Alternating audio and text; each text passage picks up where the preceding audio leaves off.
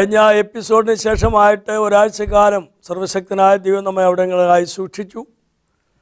നിങ്ങൾ ഓർക്കുന്നതിനെ പ്രാർത്ഥിക്കുന്നതിനെ നിങ്ങളുടെ നല്ല സന്ദേശങ്ങൾക്ക് നന്ദി പറഞ്ഞതിനെ സഹായിച്ച ഏവർക്കും കർത്താവായ യേശുക്കുന്ന നാമത്തിൽ ഒരിക്കൽ കൂടെ എന്റെ സ്നേഹവും വന്ദനവും അറിയിക്കുന്നു. ഭവനത്തിൽ വെച്ച എല്ലാ ചൊവ്വാഴ്ചയും നിങ്ങൾ ആവശ്യപ്പെടുന്ന എല്ലാ വിഷയങ്ങൾക്ക് വേണ്ടിയും വളരെ ആത്മാർത്ഥതയോടെ ദൈവത്താൽ ഇവിടെ ലഭിക്കണമെന്ന ആഗ്രഹത്തോടു കൂടെ ഞങ്ങൾ പ്രാർത്ഥിച്ചുകൊണ്ടിരിക്കുന്നു. സ്തോത്രയാഗം എന്ന വിഷയമാണല്ലോ നമ്മൾ സവിസ്തരമായി പഠിക്കുന്നത്. നാൾ പഠിച്ചുകൊണ്ടിരിക്കുന്ന ഈ സബ്ജക്റ്റിന്റെ വാക്യങ്ങൾ പറയുന്നത് എല്ലാ വാക്യങ്ങളും അതിനോട് ചേർത്ത് അറിയാൻ സാധിക്കില്ല കുറച്ച് വാക്യങ്ങൾ അറിയുമ്പോൾ ഞങ്ങൾ കേട്ടിട്ട് ആ വാക്യങ്ങൾ ബൈഹാട്ടാക്കുകയും അത് കുറിച്ചെടുത്ത് നിങ്ങൾ വീണ്ടും പ്രാർത്ഥിക്കുകയും ചെയ്യുമ്പോൾ പരസ്പരമുള്ളതായിട്ടുള്ള പ്രാർത്ഥനയാണ് ദൈവം വിടിവിക്കുന്നത്. ഒരുവൻ ഓടിക്കുമ്പോൾ ഇവൻ പതിനായിരത്തെ ഓടിക്കുന്നു എന്ന വേദശാസ്ത്രം. കണക്ക് ശാസ്ത്രം ഒരാൾ ആയിരത്തെ ഓടിച്ചാൽ രണ്ടുപേർ രണ്ടായിരത്തി ഓടിക്കാൻ പാടുള്ളൂ. എന്നാൽ വേറെ ശാസ്ത്രം പറയുന്ന രണ്ടുപേർ ഐകമത്യപ്പെട്ട് യാചിക്കുന്നപ്പോൾ പതിനായിരം സംഭവങ്ങൾ അഥവാ പതിനായിരം കാര്യങ്ങൾ പതിനായിരം എതിർപ്പുകൾ മാറുവാനായി സാധിക്കുമെന്ന് കാണാൻ സാധിക്കും. തൊണ്ണൂറ്റി ഒന്നാം സംഗീതത്തിൽ വായിക്കുന്ന ഒന്നിന്റെ ഭാഗത്ത് ആയിരം പേരും എന്റെ വലത്ത് ഭാഗത്ത് പതിനായിരം പേരും വീഴും. എങ്കിലും അവ നിന്നോട് അടുത്ത് വരികയില്ല എന്ന് സംഗീതക്കാരൻ പറയുന്നു. ആ സ്തോത്രത്തിന് വലിയ ശക്തി ഉണ്ടെന്നാണ് ഞാൻ പറഞ്ഞതിന്റെ ആശയം. തുടർന്ന് ചിന്തിക്കുമ്പോൾ അതിനോട് ചേർത്ത് ഞാൻ ചില കാര്യങ്ങൾ ഓർപ്പിക്കാം. ചില കാര്യങ്ങൾ എല്ലാ ആഴ്ചയിലും ഓർമ്മപ്പെടുത്തുന്നത് എന്റെ പുസ്തകങ്ങൾ ധാരാളം ആളുകൾ ആവശ്യപ്പെടുന്നുണ്ട്. സൗജന്യമായിട്ട് തരുവാനായിട്ട് നിർവാഹമില്ലാത്ത ഒരു സാഹചര്യമാണ്. എനിക്ക് പ്രത്യേക പ്രൊജക്റ്റുകളോ ഫണ്ട് റൈസുകളോ ഒന്നുമില്ല. വിശ്വാസം മാത്രമാണ് എന്റെ നാൽപ്പത്തിയെട്ട് വർഷമായിട്ടുള്ള കൈമുതൽ എന്ന് പറയുന്നത്. അന്നത്തെ ആഹാരത്തിന് വേണ്ടി ദൈവത്തോട് പ്രാർത്ഥിപ്പാൻ കർത്താവ് പറഞ്ഞ പോലെ അന്നത്തെ ആവശ്യങ്ങൾ ദൈവത്തോട് പ്രാർത്ഥിക്കുന്നു ദൈവം നടത്തുന്നു. നാൽപ്പത്തിയെട്ട് സംവത്സരമായ പെന്തിക്കോസിലെ ഒരു പാസ്റ്ററാണ് വിദേശ രാജ്യങ്ങൾ സഞ്ചരിക്കുകയോ വിദേശ രാജ്യങ്ങളിൽ നിന്ന് പണം കളക്ട് ചെയ്യുകയോ അങ്ങനെ യാതൊരു സമ്പാദ്യങ്ങളും എനിക്ക് ഉണ്ടാക്കുവാനായിട്ട് കഴിഞ്ഞിട്ടില്ല.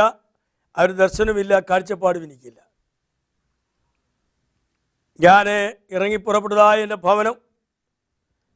ഇരുപത്തിമൂന്ന് സംവത്സരം കഴിഞ്ഞപ്പോൾ ഭവനക്കാർക്ക് തരുവാനായിട്ട് മനസ്സ് തോന്നിയതുകൊണ്ട് ഒരല്പസ്ഥലവും ഒരാസ്പെക്ട് ഫീഡിങ് തന്നതുകൊണ്ട് ഞാൻ അവിടെ പാർത്തുകൊണ്ട് ഏകദേശം ഇരുപത്തി മൂന്ന് വർഷമായി അവിടെ താമസിച്ചുകൊണ്ട് ഭാരത സുവിശേഷീകരണത്തിന് വേണ്ടി അത്യുദ്വാനം ചെയ്യുകയാണ്.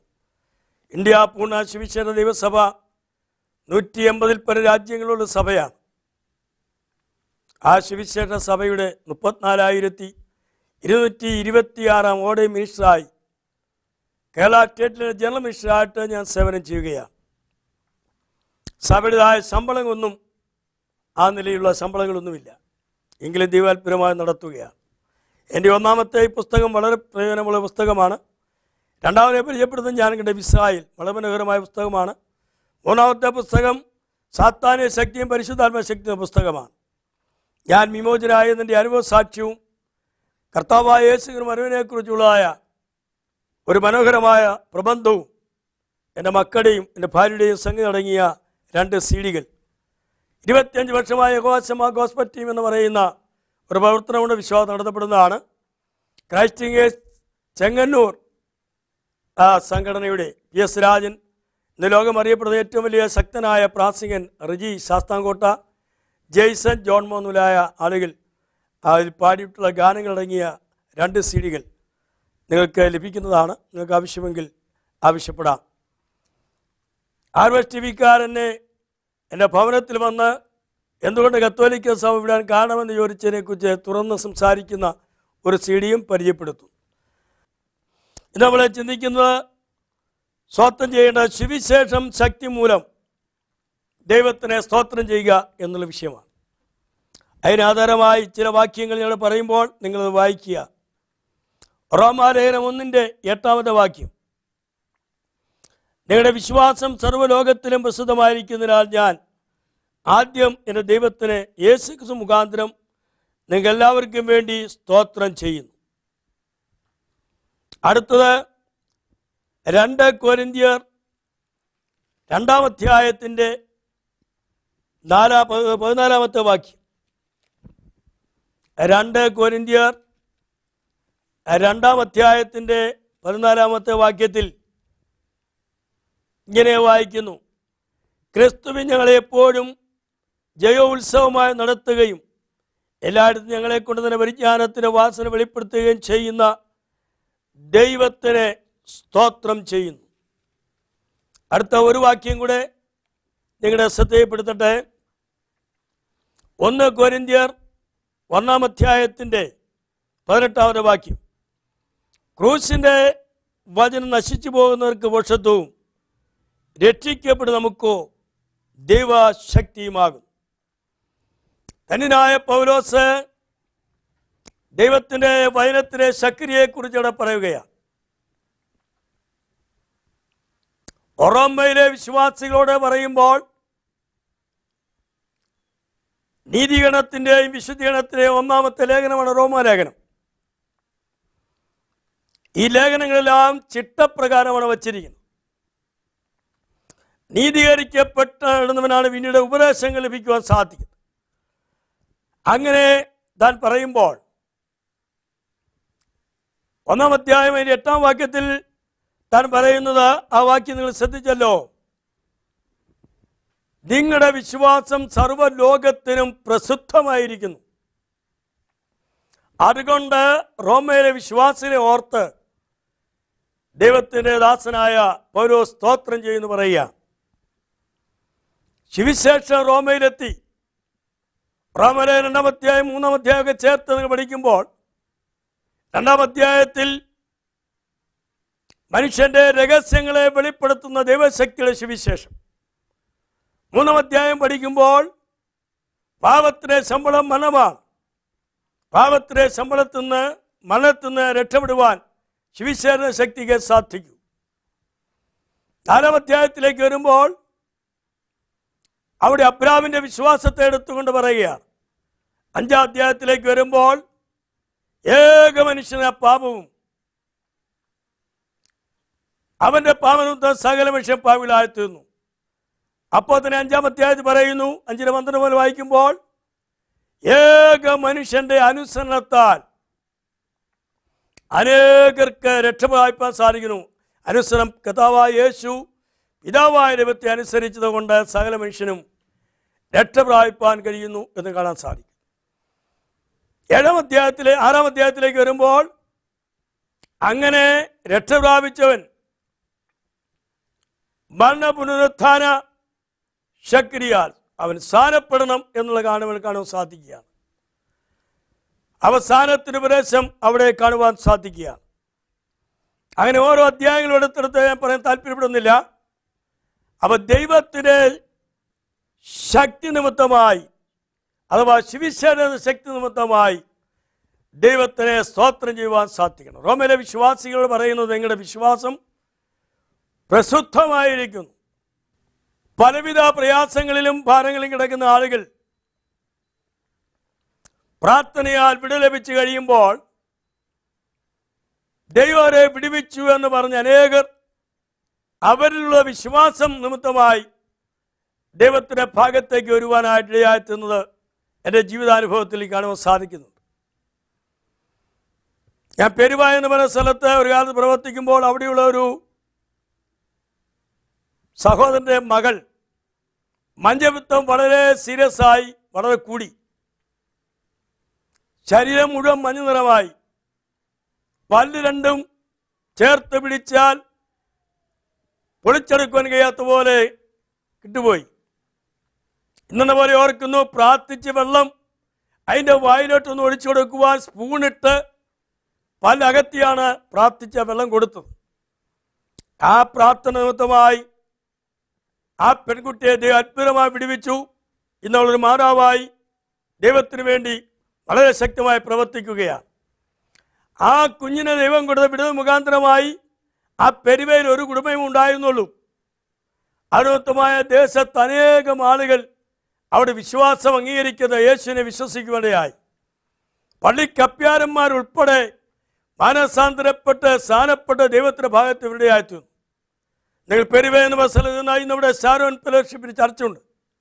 മനോഹരമായ ഒരു കുടിവരവളിയുണ്ട് റോമയിലെ വിശ്വാസിയുടെ വിശ്വാസം പ്രസിദ്ധമായെന്ന് പറഞ്ഞ പോലെ ഒരു ദൈവപ്രവൃത്തി ഒരു വ്യക്തിയിൽ ഉണ്ടായാൽ അവിടെ ജീവിതത്തിൽ ശിവിശര ശക്തിയാണ് എന്ന് മനസ്സിലാക്കിയ ആളുകൾ രൂപാന്തരപ്പെട്ട് മുൻപോട്ട് വരുവാൻ സാധിക്കും എന്നാണ് പൗലോസ് ഇവിടെ ഓർപ്പിക്കുന്നത്. രണ്ടു രണ്ടാമത്തെ ഒന്നര വാക്യം വായിക്കുമ്പോൾ പൗലോസ് അവിടെ വിശ്വാസികൾ അവിടെ പറയുന്ന പദപ്രയോഗം ക്രിസ്തുവിനെ വിശ്വസിക്കുക ദൈവശക്തി നിറയപ്പെടുക മാത്രമല്ല അവരെ ജയ ഉത്സവമായി അവരെ നടത്തുന്നു എന്നാണ്. ഉത്സവങ്ങൾക്ക് പോകുന്നവർക്കറിയാം ഉത്സവത്തിൽ എന്തെല്ലാം സംഭവവികാസങ്ങൾ ഏതെല്ലാം രീതികളിൽ മനുഷ്യർ ആനന്ദിക്കുന്നു. അത് കൊരിന്തിലെ വിശ്വാസികൾക്ക് ഉത്സവത്തെ നന്നായിട്ട് അറിയാം അവിടെ ധാരാളം ഇന്ന് നമ്മളെ കേരളത്തിൽ കാണുന്ന പോലെ ഇന്ത്യയെ കാണുന്ന പോലെ ധാരാളം ഉത്സവങ്ങൾ നടന്നൊരു ദേശമാണ് കൊരിന്ത് എന്ന് പറയുന്ന ദേശം. ആ ദേശത്ത് ദൈവത്തിന്റെ ഭാഗത്തേക്ക് വന്ന ആ ജനം പറയുന്നു ഞങ്ങളെ ദൈവം ജയോത്സവമായി നടത്തുന്നതിനായി ഞങ്ങൾ സ്തോത്രം ചെയ്യുന്നു. കാരണം കഴിഞ്ഞ കാലം അക്ഷരീയ ഉത്സവങ്ങൾ ആചരിച്ചു വന്നവർ ഇപ്പോൾ ആത്മീകമായി മുൻപോട്ട് വന്നപ്പോൾ ആത്മീകമായി അവരെ വലിയ ഉത്സവത്തെക്കാൾ അധിക സന്തോഷത്തിൽ ദൈവം വരെ നടത്തുന്നത് കൊണ്ട് അവർ ദൈവത്തിനെ സ്തോത്രം ചെയ്യുന്ന കാണുവാൻ കഴിയും. കൊരിന്ത്യർ ഒന്ന കൊരിന്ത്യർ ഒന്നിലെ പതിനെട്ടിൽ ഞാൻ വായിച്ചു ഏൽപ്പിച്ചല്ലോ. ക്രൂശിന്റെ വചനം നശിച്ചു പോകുന്നവർക്ക് പോഷത്വമാണ്. രക്ഷിക്കപ്പെടുന്നവർക്കോ അത് ദൈവശക്തിയാണ്. ഞാൻ പലപ്പോഴും ഈ പെന്തിക്കോസ് ആരാധനയെക്കുറിച്ച് ചിന്തിക്കാറുണ്ടായിരുന്നു. പെന്തിക്കോസ് വിശ്വാസാനുഭവത്തിലേക്ക് വരുന്ന മുമ്പ് അഞ്ചോ ആറോ ആളോ എട്ടോ പേര് കൂടി നടത്ത് എന്തോ ഒരു ഭയങ്കര ശബ്ദം. പാട്ടുകൾ പാടുമ്പോൾ ടമ്മുകൾ അടിക്കുമ്പോൾ ദേശം മുഴുവൻ ഞടുങ്ങുന്ന പോലെ ശബ്ദമാണ്. ഞാനിങ്ങനെ ചിന്തിച്ചു എന്തിനാ ഇങ്ങനെ വലിയ ശബ്ദം ഉണ്ടാക്കുന്നു പക്ഷേ ഈ അനുഭവത്തിലേക്ക് വന്നു കഴിഞ്ഞപ്പോൾ എനിക്ക് മനസ്സിലായി ശബ്ദം ഉണ്ടാക്കാൻ വേണ്ടി ആളുകൾ വരികയല്ല. അവിടെ വന്ന് ക്രൂശിന്റെ വചനം അതിന്റെ ശക്തി വിശ്വസിച്ചു കഴിഞ്ഞപ്പോൾ അവരിൽ ദൈവത്തിന്റെ കൃപയുടെ അത്യന്തമായ ശക്തി ദൈവാത്മാവിലെ ശക്തി ഈ മൺകൂടാരത്തിലേക്ക് പകർന്നപ്പോൾ പൗരസിന്റെ ഭാഷ പറഞ്ഞാൽ ഒരു ഗോരിലേഖത്തിനെതിരുണ്ട് ഈ അത്യന്തമായ ശക്തി ഞങ്ങളുടെ മൺകൂടാരത്തിൽ പകർന്നിരിക്കുന്നു. ഒരു കാലത്ത് മദ്യത്തിനും പാപത്തിനും പാപ ഇമ്പങ്ങൾക്കും അടിമകളായിരുന്നവർ ആ പാപത്തിന് വഴി വിട്ടുപേക്ഷിച്ച് അവിടെ ശരിയാത്മദേഹികളെ ദൈവത്തിനായി അർപ്പണം ചെയ്തപ്പോൾ ദൈവത്തിനായി സമർപ്പിക്കപ്പെട്ടു കഴിഞ്ഞപ്പോൾ അവിടെ അമാനുഷികമായ ഒരു ശക്തി അവർ വ്യാപരിക്കുകയാണ്. എത്ര ബലഹീനതയോടുകൂടെ എത്ര അശക്തരായി ആരാധനയ്ക്ക് വരുന്നോ ആ വരുന്ന ജനത്തിന് ആത്മീയ ഗാനങ്ങൾ പാടുമ്പോൾ സ്തോത്രയാങ്ങൾ അർപ്പിക്കുമ്പോൾ അവരറിയാത്ത നിലയിൽ ആടുമേൽ ശക്തി ആവരിച്ച് നന്നായി ദൈവത്തിന് സ്നേഹം മാനസാന്തരപ്പെട്ട് മനസ്സ യോഗ്യമായ ഫലം കായ്ച്ച് മനസ്സാന്ത അനുഭവത്തോടെ ആയിരിക്കുന്ന ഒരു ഭക്തൻ അവരെ സ്തോത്രം പറയുമ്പോൾ അവരുടെ തൃത്വത്തി മൂന്നാമനായ ദൈവത്തിന്റെ ആത്മാവിലെ ശക്തി ഇറങ്ങി വന്ന് അവൻ ശക്തരാകുകയാണ്.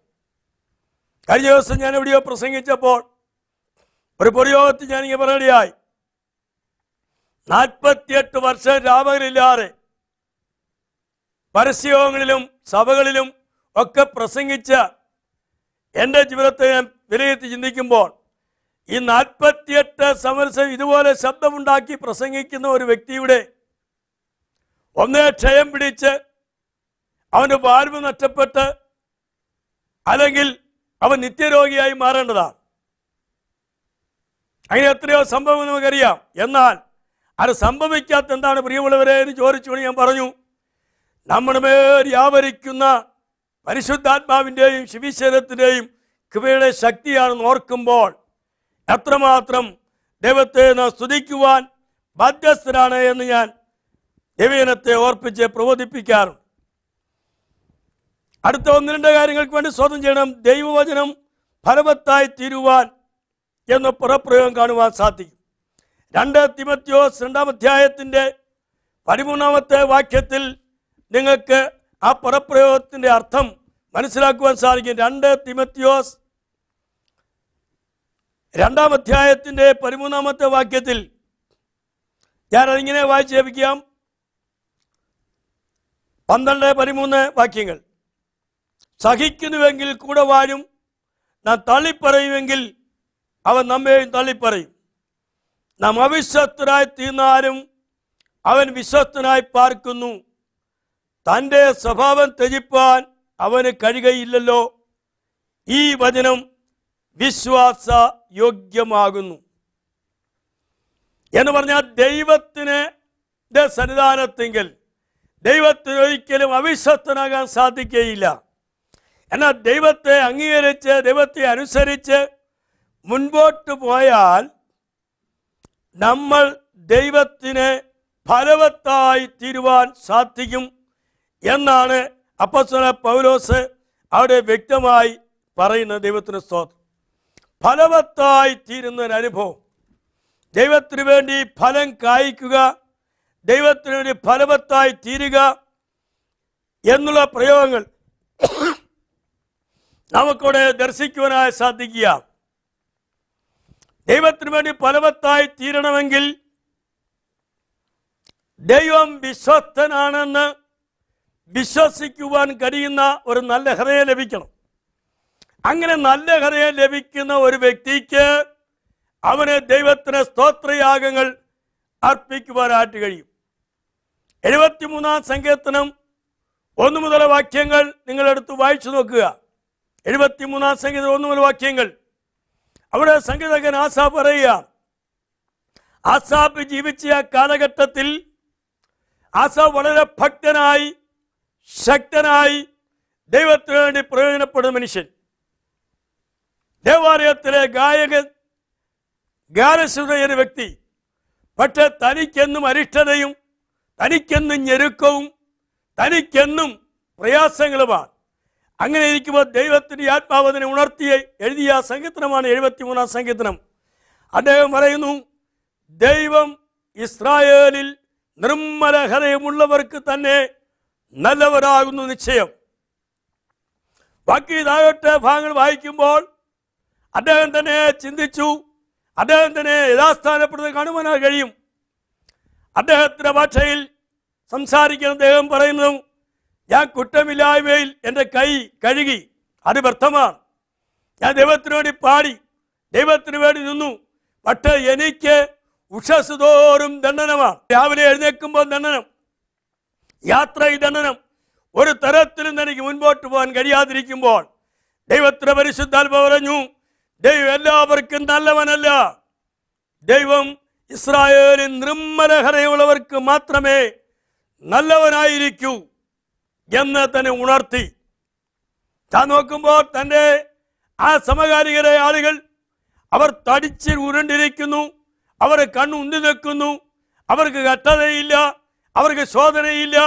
അവർ സമ്പന്നരെ പോലെ ജീവിക്കുകയാണ് എന്നാൽ തന്നെ ദൈവത്തിന്റെ ആത്മാവ് കൂട്ടിക്കൊണ്ടുപോയി. അവർ നോക്കുമ്പോൾ ദേവാലയത്തിലെത്തി.